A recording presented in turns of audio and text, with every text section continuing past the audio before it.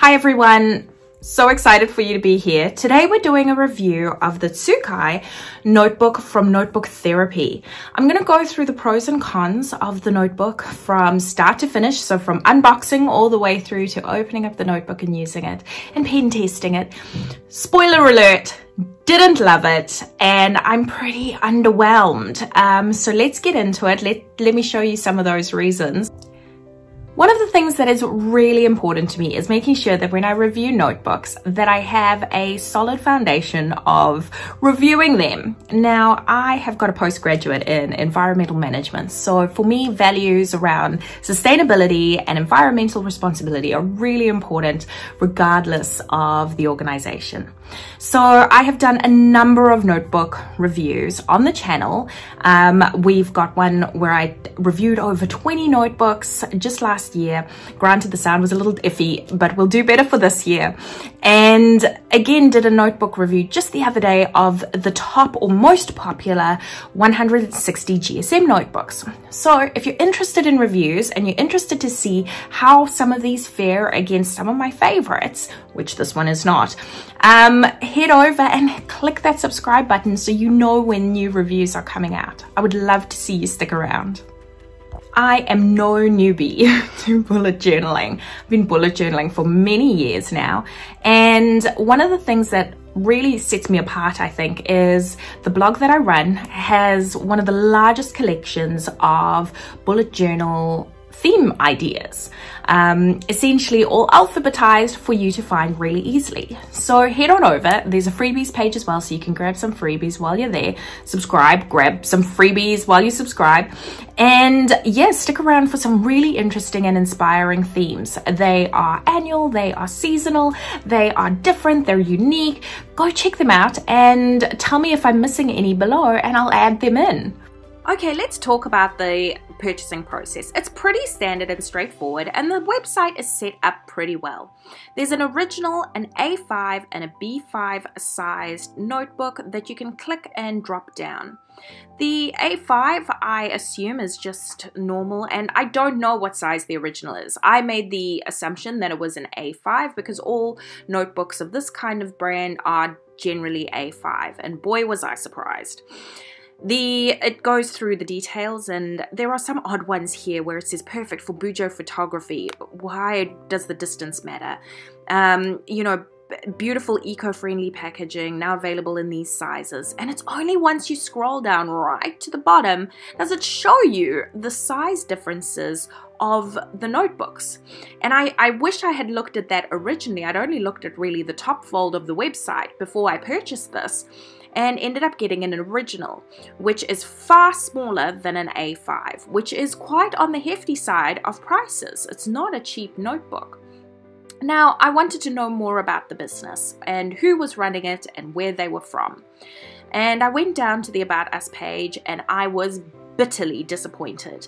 I got onto the About Us page and it says notebook therapy is a warm feeling of clarity you get when you sit down with. It tells me nothing about who is running this website. It tells me nothing about the people that have set this up and it tells me nothing about their values or environmental responsibility that they claim so much in this environmentally or eco-friendly notebook. So that already kind of put me off. Another thing that really frustrated me was the customer service aspect. At the same time as me buying my notebook, I actually ended up buying a friend of mine a notebook as well.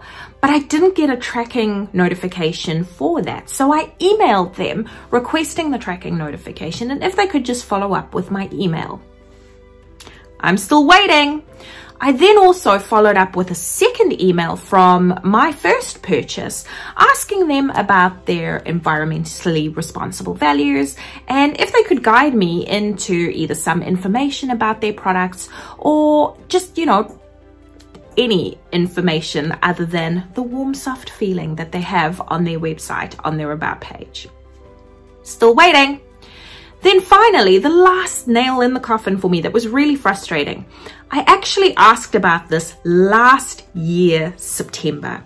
I not only sent an Instagram message, which was responded to and then ignored, um, I also requested it again and still waiting for a response. That's over a year later. So the customer service for me is a zero in this respect. The core values around environmental sustainability or environmental responsibility are a zero. And the website itself with no information about the business itself or the people that run the business, also pretty zero. I then purchased the notebook and five weeks later it arrived. I I would re I I would be really keen to know if you've bought one of these already and you love it. I'd love to know what you love about it because right now I'm really struggling to find things I love about it. So please comment below if you are planning on purchasing one and what is drawing you to it. Or if you have purchased one and you do love it, I'd love to know in the comments below. All right, this tatty box came all the way to New Zealand from China. Um, that obviously explains to me a little bit about their processing and manufacturing is that it's coming directly from China and not from a manufacturing warehouse somewhere in the States or somewhere in Japan or wherever they're based.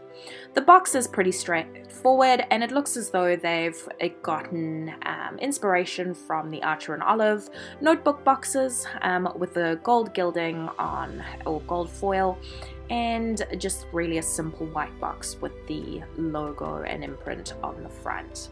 Comes with a little business card and when you open it up, what I was really surprised by was the size. The other thing I was really surprised with, and this was something I actually really liked, was the velvety texture of the cover. What a great different feel to a notebook cover. Um, obviously, the the box comes with some paper. It's you know, I'm guessing that this is all recyclable, uh, much like many others. But this really fun velvety cover was actually kind of nice. I didn't dislike it.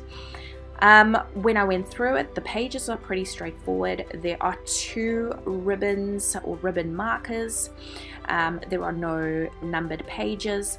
The size, however, really bugged me. And you can see here that the A5 versus the original are totally different. And this is in comparison to my Archer and Olive A5 and this is when I went back to the site to discover that the original size is actually a totally different size altogether. Would have liked to see that up front on the website before I made the purchase. Onto the flip through. As we flip through, you can see this is a basic notebook. There's no, um, there's the back uh, pocket. Um, it's pretty well made. It comes with a cute little whale charm. I quite like that. It's very sweet. It's got a, a whale imprint on the spine or a little uh, insignia on the spine.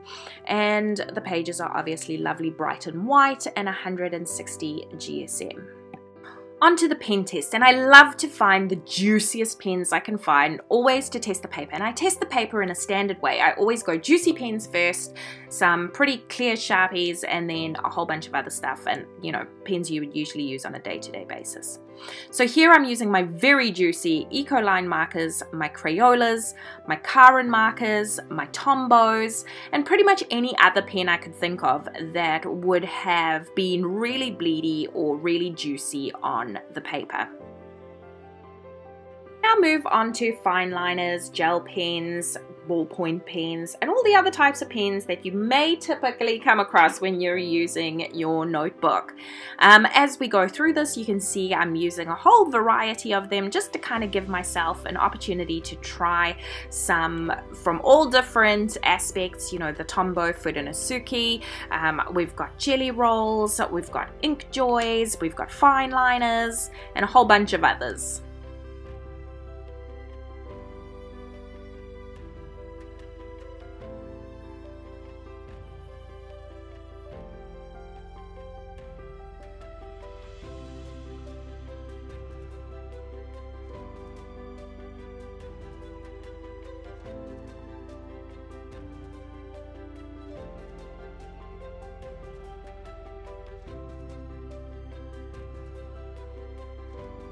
Right, on to watercolor testing. First we're testing with watercolor pencil. I'm using my Prima Marketing watercolor pencils.